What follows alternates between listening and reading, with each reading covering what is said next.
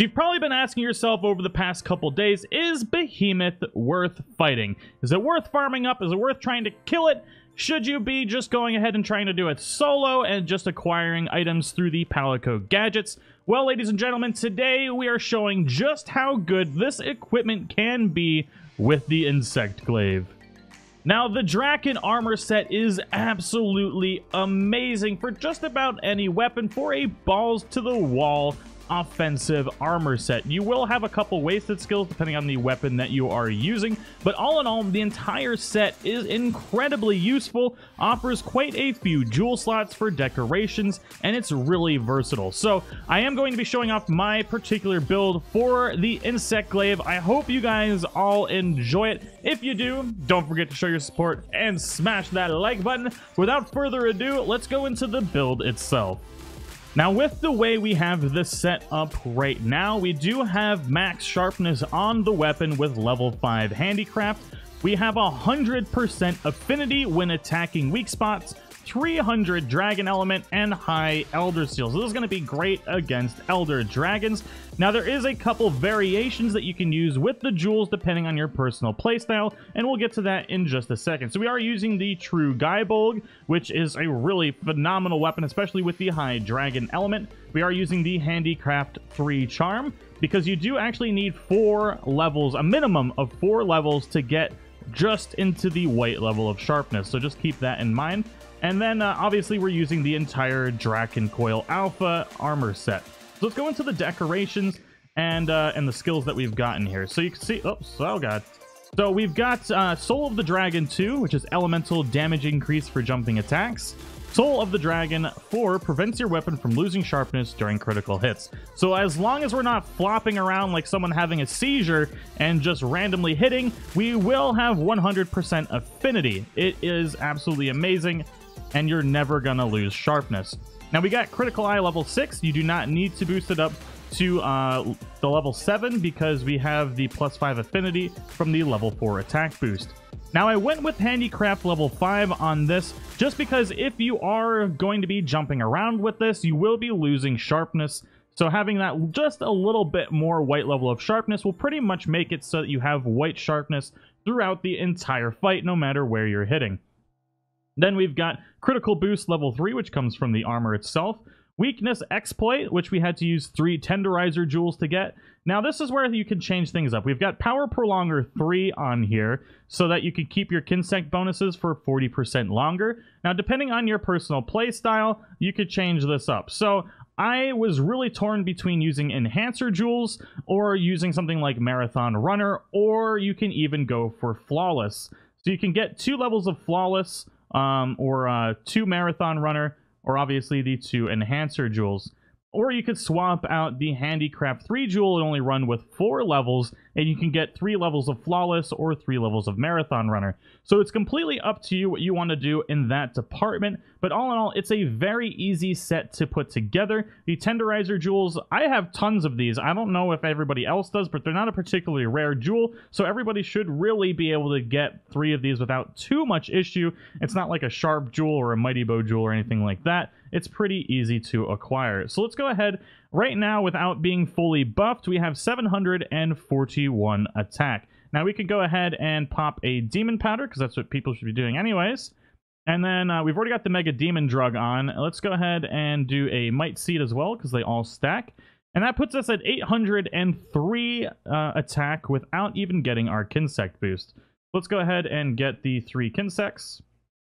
That one, that one, and uh, this one. And now our attack is at 924. now let's go ahead and um, I guess we do need the HUD. Well, we're not going to lose sharpness, but just as proof for those of you that are newer, with this 100% affinity build on the pole, we will crit 100% of the time and therefore never lose sharpness. So our final hit with the Tornado Slash does 201 damage. I'm just going to go ahead and show that again because I didn't turn the camera like I was supposed to. Or, well, 195 on that one, but tops out at uh, 201. If you're just doing your standard stuff here, you can see it pumps out quite a bit of damage on the ground. So let's go ahead and show the aerial damage. Uh, 67, 69, pretty good. And let's see if we can get the last hit. Oh, I screwed up. All right, we got to attack a little bit lower to get that last hit on the pole. And now, I will be just doing gameplay footage of this right afterwards. So you guys could check out the sharpness loss and stuff like that on an actual monster. All right, so 229 it looked like.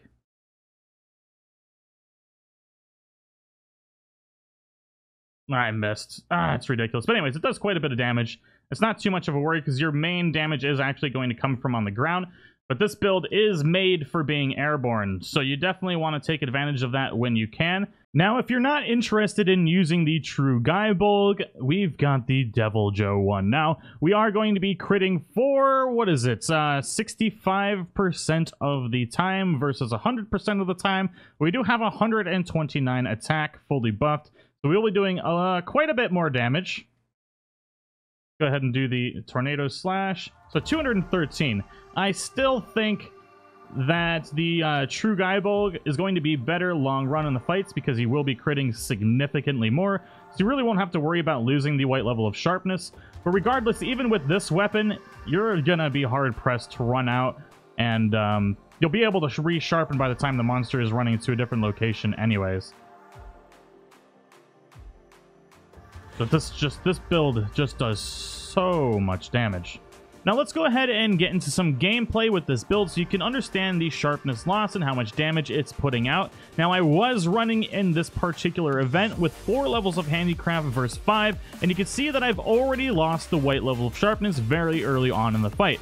Now you can use Whetfish Fin Plus or just regularly sharpen your weapon and you can obviously get that white level of sharpness back. Plenty of opportunities in every fight to do that, but if you're looking to just never lose white sharpness, you're going to want to probably run with 5 handicraft.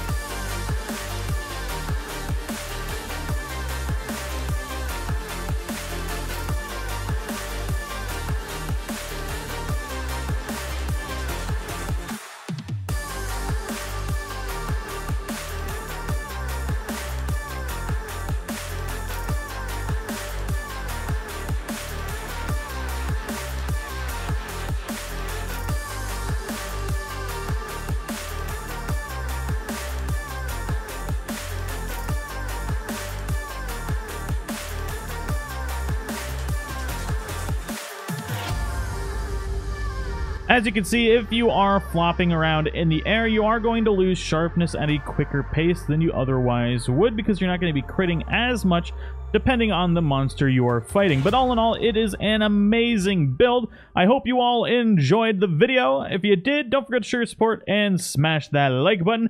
And if you want to see more Drachen armor-based builds, let me know in the comments below. And I will see you all in the next one.